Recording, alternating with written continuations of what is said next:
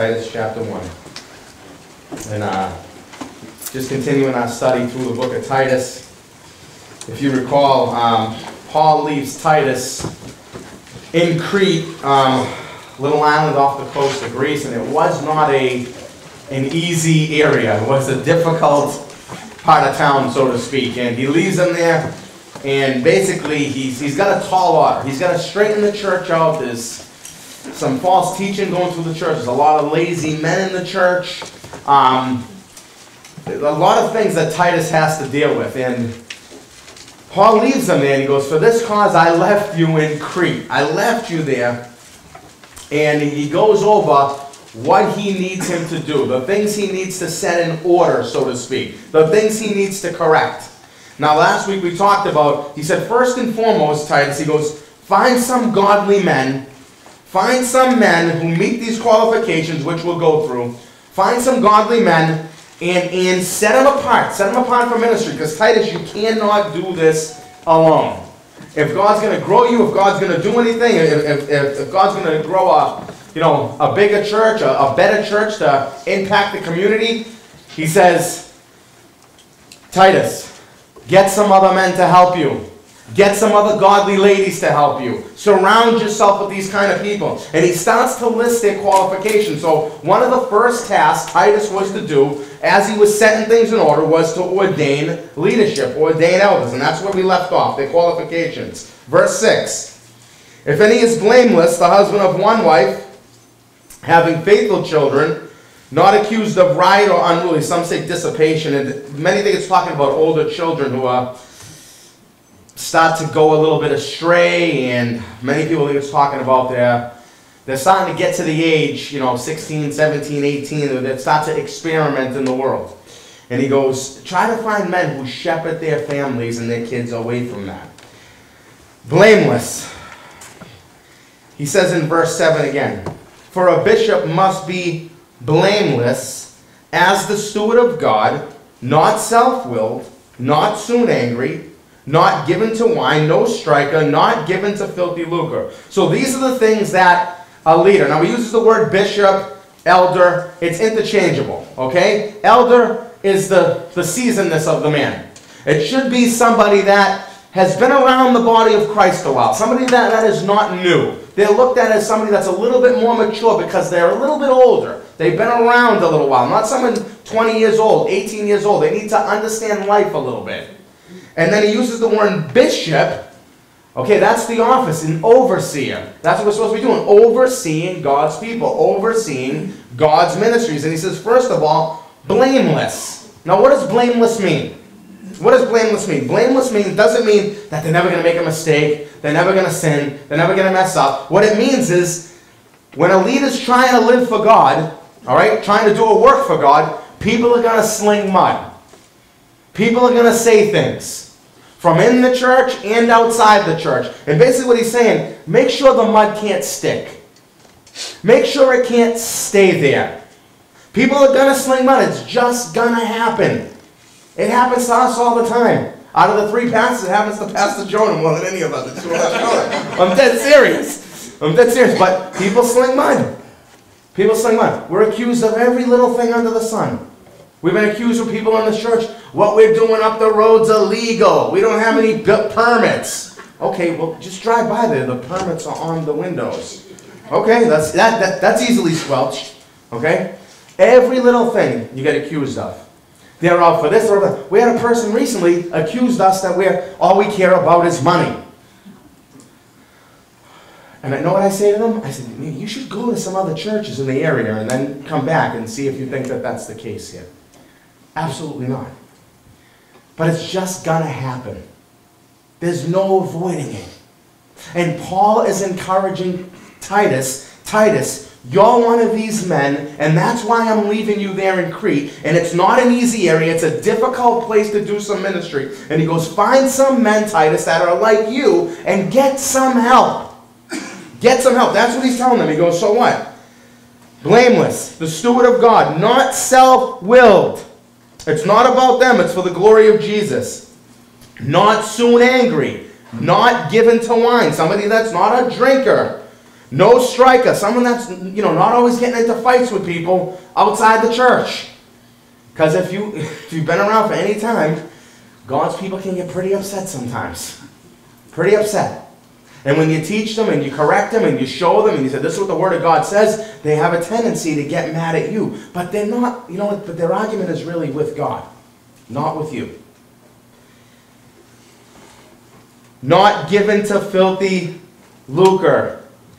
They're not in it to try to get rich. They're not trying to, they're not giving over to money. That's not the motive behind what they're doing. That's what they're not supposed to be. Now, this is what they're supposed to be. A lover of hospitality. In that day and age, it was somebody that would be willing to help out with strangers. People need some help sometimes. People need a sandwich, people need a ride, whatever it is. It's somebody that has that kind of a heart and that kind of a spirit should be in the pulpits of God. Look what he says.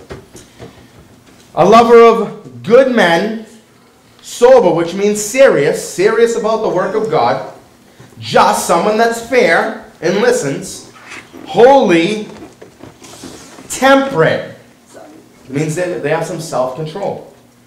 Holding fast the faithful word as he hath been taught, that he may be able by sound doctrine both to exhort and to convince the gainsayers. Now he says, someone that stands on the word of God and does not waver.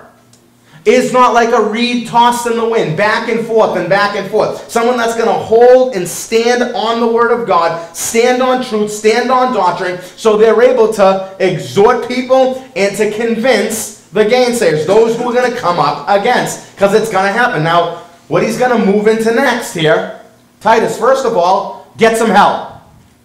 If there's any there that are like you, Titus, call them apart with you. That's your first task. First thing I want you to do is look through the church that is left in Crete, help them out, get some help so people can come alongside you and do this ministry with you. That's number one. Then he says, number two, confront false teachers. Titus. Don't let false teaching go on. That's what he's going to say next here.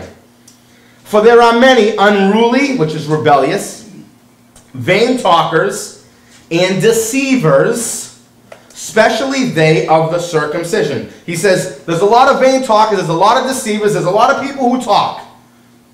There's a lot of people that are up behind the pulpits that are leading people that are just talkers, but they're not livers. And he's going to say that in a, minute.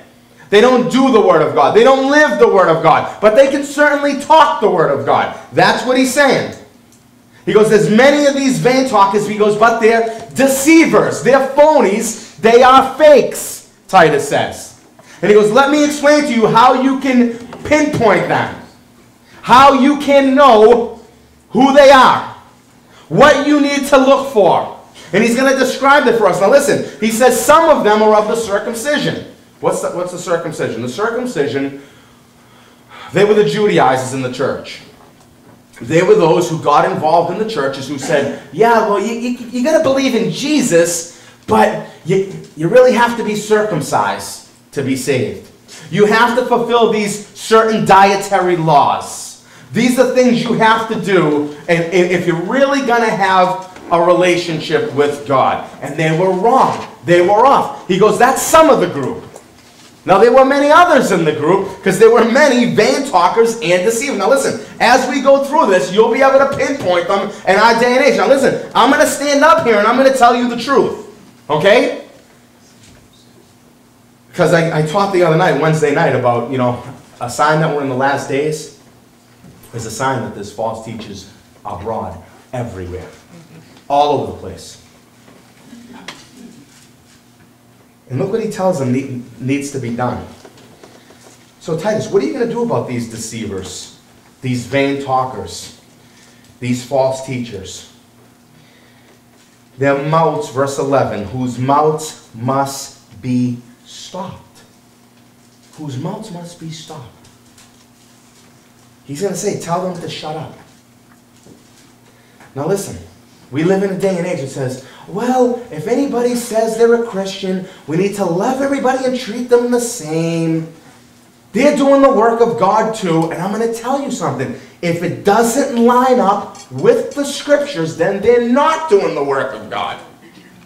If it doesn't line up with God's word, then they're not doing the work of God. I, I, don't care what anybody says. Well, they're just trying to get the people in. They're just trying to show the love of Christ. And, and, and that's why they, they, they ordain homosexual ministers and lesbian ministers. They're just trying to gather people in. That's what they're just trying to show the love side of Christ. You know what the Bible says? Love rejoices in the truth. It doesn't rejoice in error. So you're really loving them if you tell them the truth, the Bible says. Right?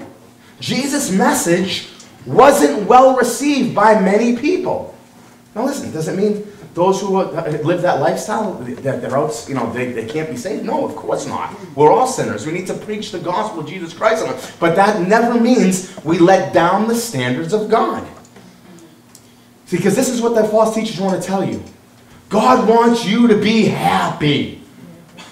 God wants you to be happy. So if that's by your, you know, your relationships and your sexual, you know, persuasions. God just wants you to be happy anyway. And Jesus loves you regardless. God wants you to be happy. And has to do with your finances and your things, and you need more of that. God wants you to be happy. But you know what? When you read your Bible, it doesn't say anywhere that God wants you to be happy. It says God wants you to be holy.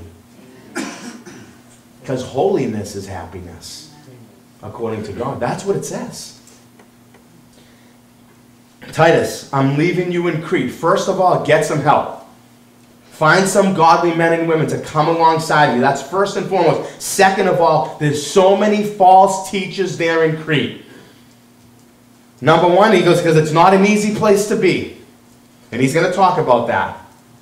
And he goes, Titus, you need to rebuke them. You need to correct them. It says, whose mouths must be stopped. Now, how do we stop their mouths? How do we stop their mouths? How do we stop the mouths of false teachers? You know, I'm going to tell you from my perspective, I think it's my duty as a pastor, as a minister of the gospel, if, if I love the Lord and if I love his people, that I'm going to tell you the truth. And sometimes I'm not even afraid to name names. I'm not. Well, oh, that's terrible. That's mean. God will judge. That's not your job. That's not what Paul did.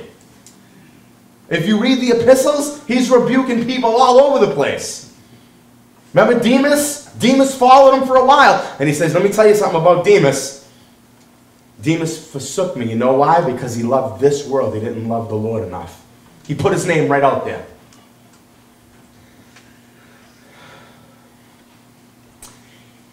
He delivers a couple men whom he names, Alexander and, and Hymenaeus. He goes, I deliver them, I push them out, I put them out of the church. And he names their names so they learn not to blaspheme, because they're wrong. He names their names. He says, You stop their mouths. Don't be afraid to speak the truth and stick to the word of God. You know what? Here's one way you do it you take away their opportunity.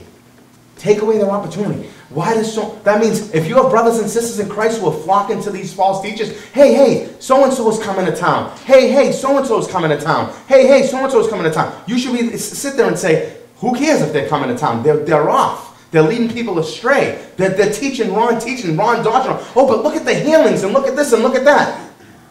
If it doesn't line up with God's word, it doesn't line up. So and so is coming to town. And this is, what, this is what I say. You know, so isn't Santa Claus, but he's not real either. Seriously. He's a fake too. And, and that's what he tells Titus. Titus, take away their opportunity. Get them out of the platforms. Be so filled up with the truth, Titus. So people recognize the, the difference, difference between truth and error, Titus. Look what he says who subvert, listen, they subvert whole houses, teaching things which they ought not for money, for filthy lucre's sake. They're leading whole houses astray. How does that happen? Very simple. Very simple. Listen, I'm going to tell you this. People get involved in the church, they get saved, they come to Christ, and, if you haven't realized this yet, when you start walking with the Lord, and again in 2 Timothy it says it says the time will come when they won't endure sound doctrine. It's painful sometimes to keep living for Jesus when it gets difficult. And he says, Timothy, they need to endure that. They need to endure the sound doctrine and stick to the teaching, even though it's difficult. But what happens is the false teachers come in and they say, Oh, this isn't of God. Your life shouldn't be this hard right now. Surely there's an easier way. That's how they do it. I do that in the ministry sometimes. I do. I go to God and God, why is it this hard? Oh, it's so difficult sometimes. Am I doing something wrong, Lord? Please help me. Please show. You know what the Holy Spirit always, always tells me? Stop whining and keep doing what you're doing. That's what he tells me. He goes, Let the leave the results up to me. He goes, That's not your job anyway. Just stop whining and just keep doing what you're doing. That's always what God says. You know what? And that lines up with God's word. You know why? Because it says we're supposed to be faithful. Faithful in season and out of season.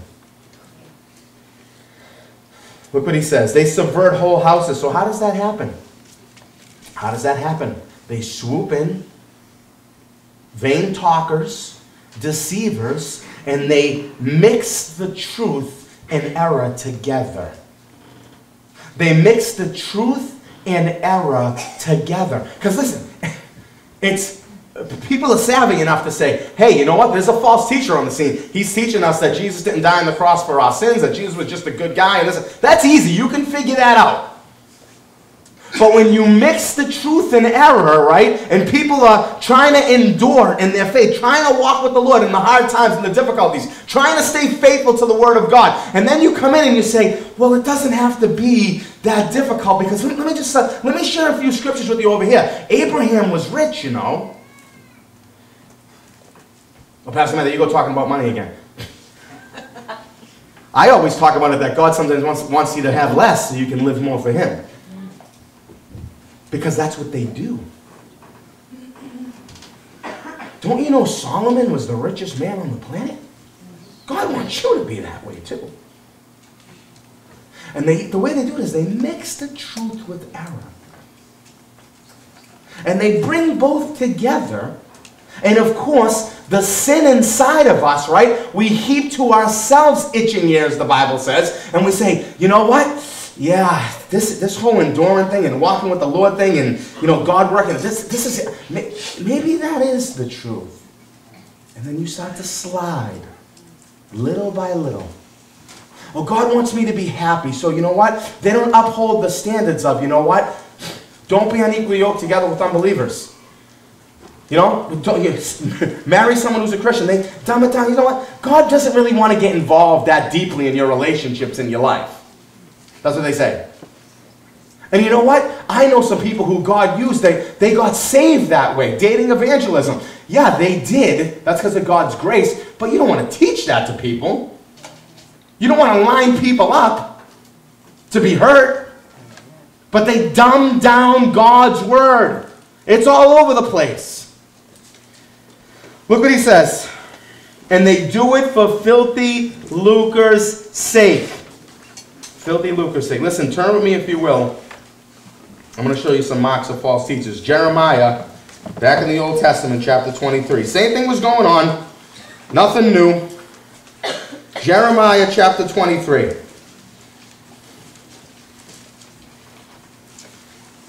Jeremiah was called the weeping prophet, by the way. And as he would as he would prophesy and teach God's people, you know what? There were so many false teachers out there. Jeremiah's word couldn't get through because everybody was running after the false teachers. Look what he says. Jeremiah chapter 23. If you found Isaiah, after that. God says this through Jeremiah. Woe be unto the pastors. You know what woe means? Woe's not a good thing. Woe means you're, you're undone. You're doing something wrong. You're under God's judging hand. Woe be unto the pastors that destroy and scatter the sheep of my pasture, says the Lord. Therefore, thus says the Lord God of Israel against the pastors that feed my people. What were they doing? what's a pastor's job? They're to teach them. You're to, you're to stand in the place of God and teach God's word for God. That's a scary place to be. Therefore, thus saith the Lord God of Israel against the pastors that feed my people You scattered my flock, you've driven them away, and have not visited them. Behold, I will visit upon you the evil of your doings, says the Lord. God says He's not going to let it go. That's scary to me. That's scary. You say, well, where did they scatter? Did they just go away? No, no, no, no. They went to the false teachings. Look in verse 9. Why are they scattered? First of all, because of their wickedness. My heart within me is broken because of the prophets. All my bones shake. This is Jeremiah talking. All my bones shake. I am like a drunken man and like a man whom wine has overcome because of the Lord and because of the words of his holiness for the land is full of adulterers. For because of the swearing, because of swearing, the land mourneth. They're swearing in the name of God, these false prophets. I swear this, and I swear that, and thus saith the Lord this, and thus saith the Lord that. The pleasant places of the wilderness are dried up, and their course is evil, and their force is not right. You know what he's saying? He goes, The land is condemned, Israel, because of the false teachers, and because everybody's flocking to the false teachers. Take that to 2015. What's going on in America? The Bible says, if the foundations be destroyed, where shall the righteous stand? Well, you know what God says? If the pastors, if the shepherds would stand up in front of all of God's people and teach the truth of God's word, you know what? God might preserve this land a little bit longer. That's what he says. That's what he says. And I, I love the Christians that say, oh, this one's in office, and that one, and this one, and that one. Well, who'd you vote for? And then you listen, and they voted for their pocketbook.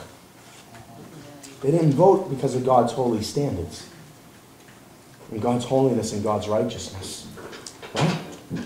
Right? Some of you might be right here in this room. I don't know. I don't know. Look what he says. He condemns them because of their wickedness. For both prophet and priest are profane. Yea, in my house have I found their wickedness, says the Lord. They're in my house. They're speaking in my name. Pastor Mat, don't tell me that. They're just trying to do God's work too. Well, if they're not going to teach the Word of God and they're not going to stand on the standards of God's holiness and righteousness, they're false. They're false.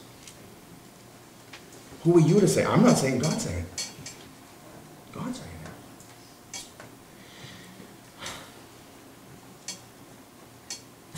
All you have to do is just turn on the TV, listen to the radio. Man, you're on the radio. Well, I, I hope I'm sticking to the Word of God. And this is what I say. This is what I say too. You know what?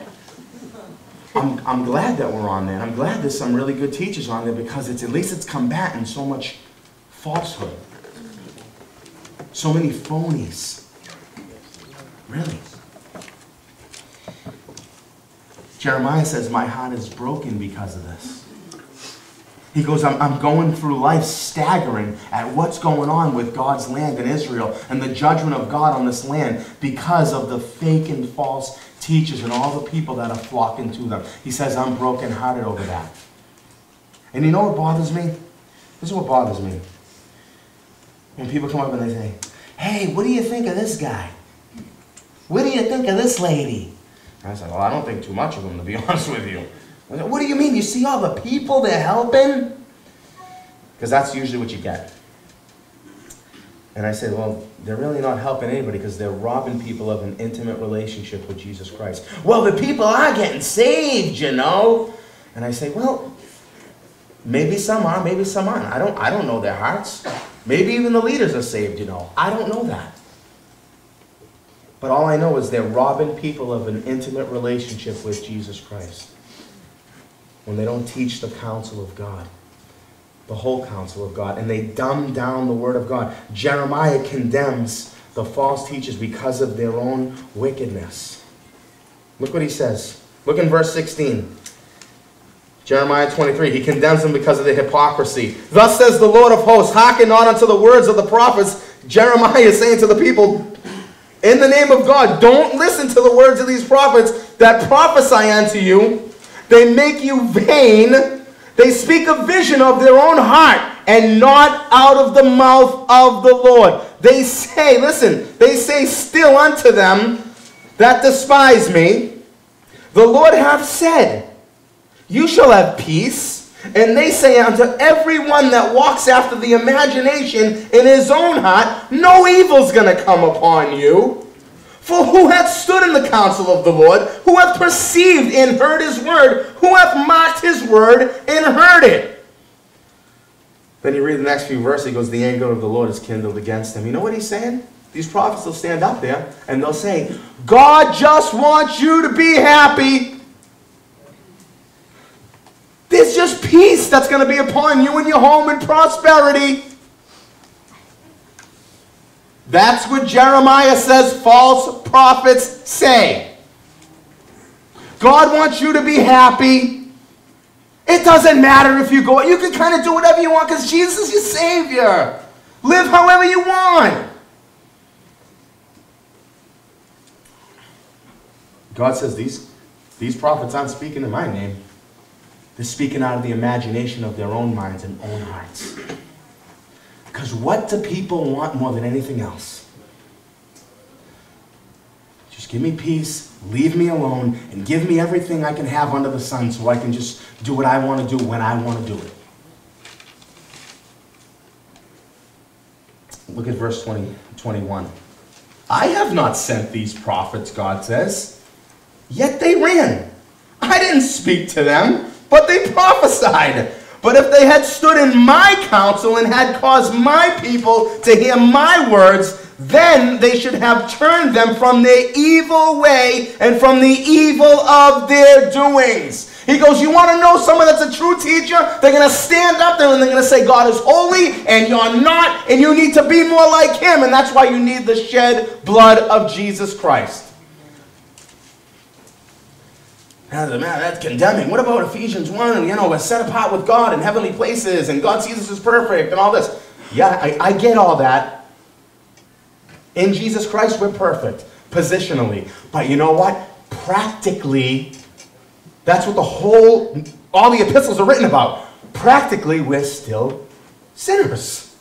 If you haven't realized that. And we should be longing to sin less and love God more. I got to get through this or we'll never have community. So,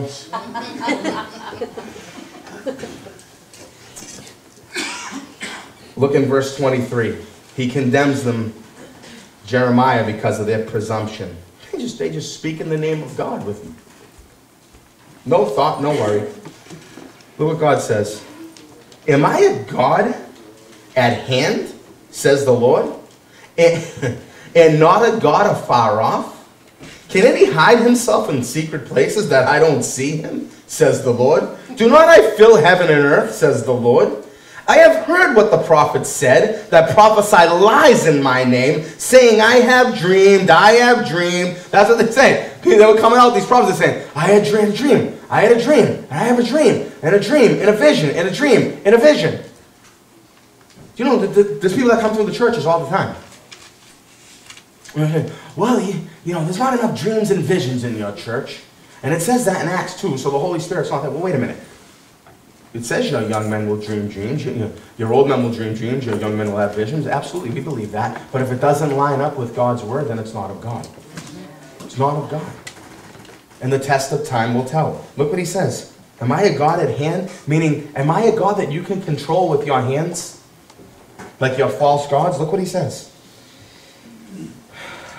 Look in verse 28. The prophet that has a dream, let him tell a dream. And he that has my word, let him speak my word faithfully.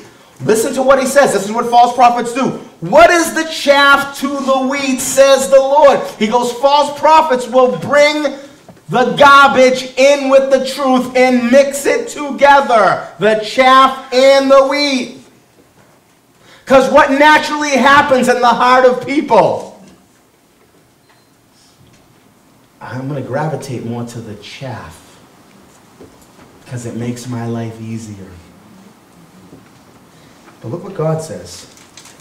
Is not my word, verse 20 time, like as fire, says the Lord, and like a hammer that breaks the rock in pieces. Therefore, behold, I am against the prophets, says the Lord, that steal my words, every one from his neighbor. He goes, Isn't my word like fire and like a hammer?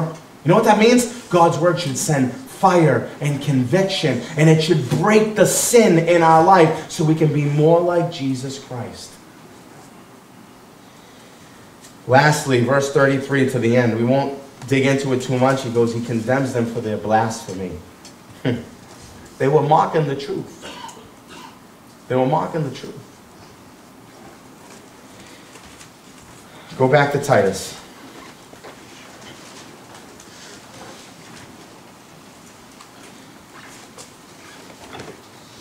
So, Titus, what are you going to do with these false teachers?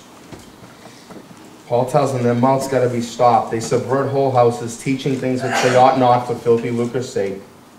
One of themselves, even a prophet of their own, said, The Cretans are always liars, evil beasts, slow bellies. This witness is true. Wherefore, rebuke them sharply, that they may be sound in the faith, not giving heed to Jewish fables, commandments of men that turn from the truth Unto the pure all things are pure, but unto them that are defiled and unbelieving nothing is pure, but even their mind and conscience is defiled. They profess that they know God, but in works they deny him, being abominable, disobedient, and unto every good work reprobate. What's Titus talking about here? What, what is Paul talking about to Titus? Evil beasts, slow bellies, the Cretans are liars. Paul says, listen, Titus. He goes, I don't have to tell you the kind of people that you're dealing with there in Crete. Their own people say that they're a bunch of liars. And he goes, What has happened in the church is the church just kind of let them creep in without any standards of holiness, without lining up with the um, qualifications of an elder, and they started to gather some people to themselves. And, and, and Paul says, Let me remind you, Titus, you know the kind of people that you're dealing with, their own people. He's quoting one of their own people. His name is Epimenides, and even in his own writings, he says, My people, the Cretans, are just liars. He goes, Paul says, I don't, I don't have to call them that. Their own people call them that. So, Titus, whatever you do, you need to get them out of these positions in the church because they're leading people astray. And then look what he says in verse 16. They profess that they know God, but in works they deny him, being abominable, disobedient, and unto every good work reprobate. You know what he's saying? He's saying, Titus, let me show you, let me tell you how you can discern, excuse me, if someone is a real believer and a real teacher of God. He goes, they'll profess and they'll talk like they know God. But in the way they live, you really know. That's what it says in the way that they live, you'll really know. And the things that they care about, the things they spend their time on, their money on, that's how you'll really know them. Titus, didn't Jesus say this? You'll know them by their fruit. Because people can talk, people can say, people can quote Bible, people can have a lot of intelligence when it comes to the Word of God. But do they really love Jesus? Do they really have Jesus? You know what? Paul tells Titus, tell them to show you. Tell them to show you. Now listen, I'm not talking about the believer who's trying to live for Jesus, who falls and gets back up. Trying to live for Jesus, who falls and gets back up. I'm, I'm, I'm talking about the so-called believer who justifies everything. Well, there's a reason for that, and God must have a plan for that, and that's why I'm doing that. And I'm not ready to get rid of that out of my life right now because, you know, me and God have a deal. God's okay with that. Really? But in works you deny Him. Isn't this what James said? James said, Show me your faith by your works, and I will show you my faith by my works. Show me that you love Jesus, and by the way that you live, James wasn't afraid to say, because I'll show you that I love Jesus by the way I live. That's what he said. There's a lot of talkers, but there's not a lot of walkers. That's what he says. And that's why when he says, look at chapter 2 says, But you, Titus, speak the things which become sound doctrine. Now it's interesting, and we'll close with this. He says, Titus, I want you to speak the things in the church that become sound doctrine. Now, what is doctrine? Doctrine is right teaching about Christ death, burial, resurrection of Christ. But it's interesting, he doesn't get into in chapter 2 the death, burial, resurrection of Christ, second coming. Those are doctrinal teachings. He doesn't get into ex- eschatology, which is future things. He doesn't get into soteriology, which is the doctrine of salvation. He says, Titus, speak the things that become sound doctrine. You know what he's going to say? This is what he's going to say. He's going to say, how do the aged men, the men that are a little older, how do they act in the church and with their families? And then he's going to say, how about the women that have known Christ for a while? How do they act with their husbands? And what do they teach the ladies in the church? And then he says, Titus, how do the young women act in the church? And what are the older ladies teaching the younger ladies? And then he says, Titus, what about the young men? How are they living their lives? Because if you love Jesus, there's going to be a change in your life. If you love Jesus, there's going to be some things that you're going to want to do for Jesus. And it starts in your personal relationship with God, and then it overflows to your family, then it overflows to your church, and then it overflows to out there. Titus had a difficult task. We all have a difficult task trying to live for Jesus in a lost and dying world. But by the power of the Holy Spirit, you can do it.